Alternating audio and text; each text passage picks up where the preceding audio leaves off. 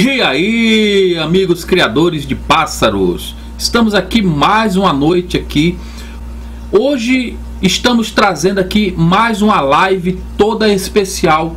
Nós queremos que você saiba o seguinte: o investimento que você deve fazer para encartar os seus filhotes não pode ser com medida.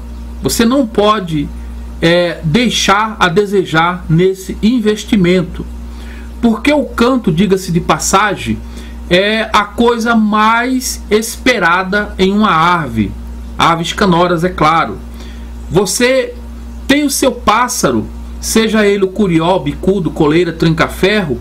O que mais os criadores apreciam em, uma, em um pássaro canouro? Obviamente que é o canto dele.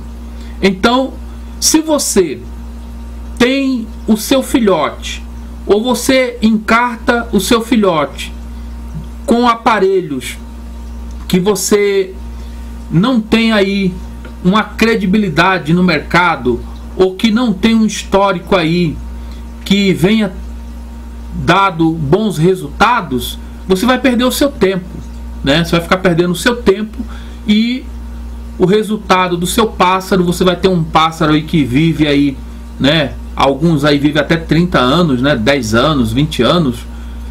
Você vai ter um pássaro aí que vai ter uma vida né, longa, porém com um canto que você não gosta, um canto que você não acha bonito. Por isso que você não deve é, medir esforços no que diz respeito a um bom equipamento de som, um bom equipamento para você encartar os seus filhotes. Você que está chegando aqui agora na nossa live, deixa o seu like, comente aqui. Quero que você saiba que amanhã, por volta das 10 horas, estaremos aqui de volta aqui, mais uma vez falando com todos vocês aqui. Se você gostou do nosso vídeo, se você gostou da nossa live, se inscreva, ative aí o sininho, deixe também o seu comentário. Eu quero ver os seus comentários aqui no nosso vídeo. Estamos quase batendo aí a meta de 50 mil inscritos. Caso você não é inscrito ainda, se inscreva no canal.